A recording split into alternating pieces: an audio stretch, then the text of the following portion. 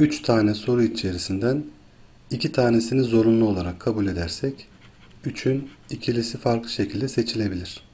Bu da 3 yapar. 3 ile 5, 3 ile 7, 5 ile 7 gibi.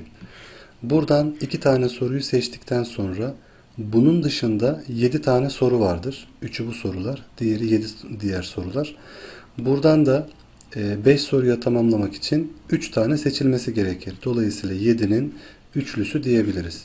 Ya böyle seçeriz veya en az ikisi dediği için diğer durumda 3'ü de buradan seçilebilir. O zaman 3 sorunun 3'ü de 3'ün üçlüsü farklı şekilde seçilebilir.